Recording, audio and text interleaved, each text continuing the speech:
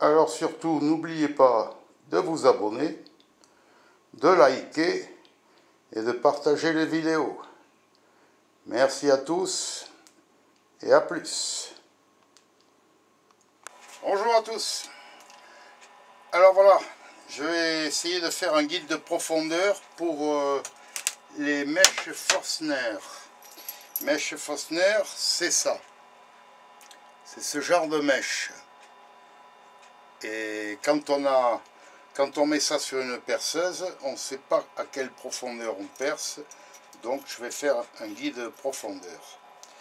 Alors je vais commencer par souder ces deux, deux rondelles là que j'ai mis sur un, genre de petit étau là que j'ai récupéré et dont j'ai changé le manche d'ailleurs. Je l'ai modifié un petit peu. Voilà. Allez, allons-y.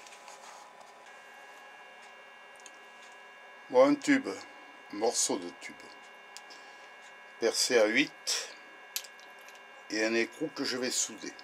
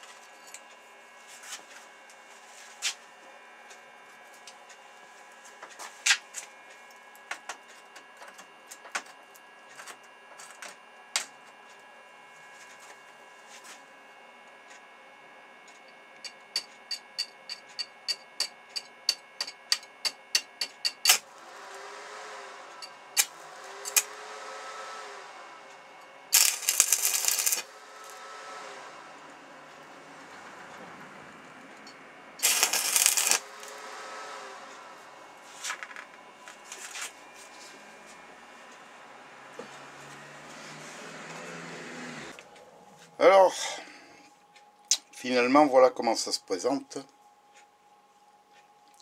Été obligé de souder les unes sur les autres euh, trois, trois rondelles ici. Bon, là j'ai soudé donc l'écrou sur ce petit tube. Et une vis. Hop, voilà. Qui bloque le où est-ce qu'il est où est-ce qu'il est le voilà qui bloque le la mèche Fosner. Voilà ça rentre comme ça. Bien entendu il faut que la dernière rondelle soit plus grande que la mèche pour faire euh, arrêt. Et là ici on peut faire euh, la distance pour, euh, pour l'épaisseur de, de, ce que vous voulez euh, euh, percer quoi hein. ici comme ça. Alors on va faire ça comme ça peut-être 2 mm de plus on va dire. Et on bloque on bloque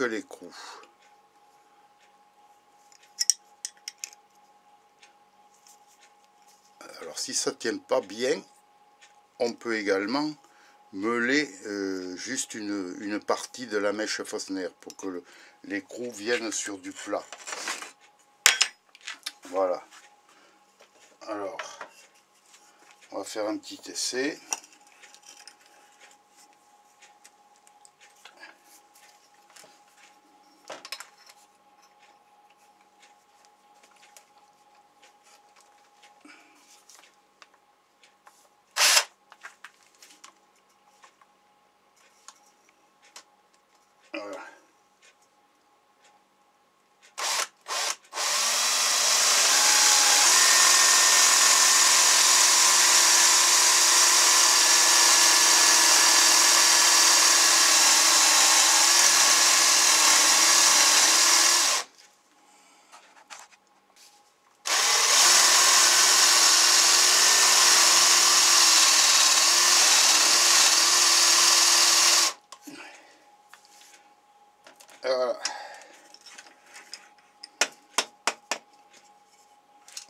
Profondeur voulue. Juste comme on a mesuré. Voilà. Même il manque un tout petit peu, mais à peine. Voilà. Mais c'était un guide de profondeur pour mèche euh, Fosner. Allez. Alors pour visser et dévisser un peu dans les endroits exigus, voilà, ajouter à la perceuse. Euh, ici j'ai soudé pour pas que les fils se filochent. Là j'ai mis une rondelle pour pas que ça frotte sur euh, cette partie là, que ça tourne bien disons, voilà. Et maintenant on va faire un essai.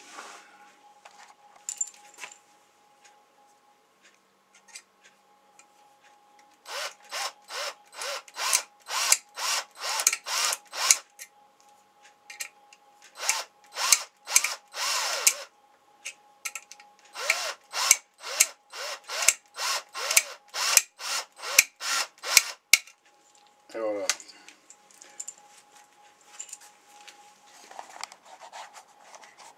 Alors pour dévisser,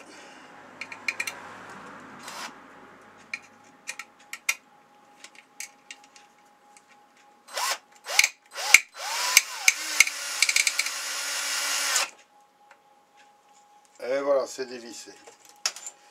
Allez, une petite astuce.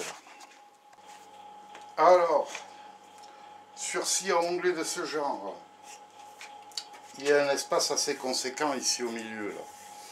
Et si vous avez à couper de petites pièces, il se pourrait que euh, vous soyez gêné pour ça. Donc on va faire un zéro clearance, c'est-à-dire euh, zéro espace, quoi, sans espace, euh, pour couper des petites pièces. Alors, juste ça, un bout de planche, et on y va.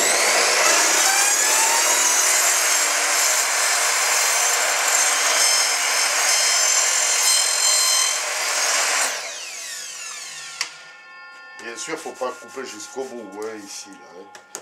Voilà, donc c'est maintenant c'est séparé juste au milieu. Et si vous avez à couper de petites pièces, même dans ce sens, comme ça, euh, vous avez la possibilité, donc euh, il n'y a, pas de- a pas de creux dessous. Également, euh, vous pouvez mettre une cale ici au fond pour pouvoir euh, couper encore mieux. Juste une cale, un bois martyr, euh, voilà, comme ça. Et là, vous pouvez couper. Comme ça. En tenant votre pièce.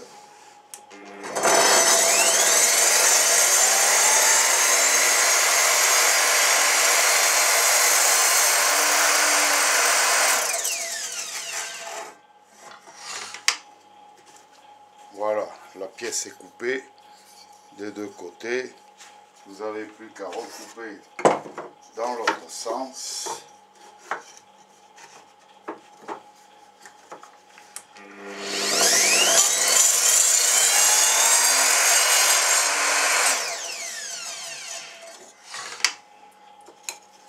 Et voilà. Ah, et c'est en deux. Voilà, pour des petites pièces, hein, je dis bien, et puis en longueur surtout. euh. Allez. Alors, si vous voulez tracer euh, un tube, vous mettez une règle le long, mais vous n'êtes pas certain, certain d'être bien au milieu, enfin, bien en- dans l'alignement de ce que vous voulez faire. Donc, avec une règle, c'est pas bien. Avec un morceau de cornière, quelle que soit la longueur du tube, hein, il faut que la cornière soit assez conséquente aussi. hein. Alors, et voilà, et vous tracez. Voilà.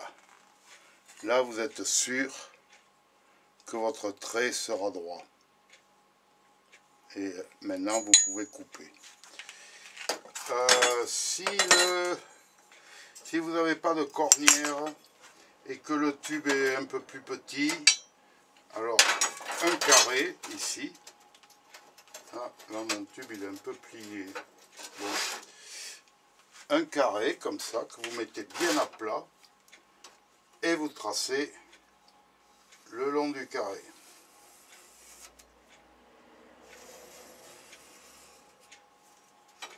Voilà la ligne. Voilà. Là, vous êtes sûr d'être au bon endroit. Ok, et eh euh, c'est tout pour aujourd'hui. J'en ai d'autres que je vous ferai voir un peu plus tard. Ciao, ciao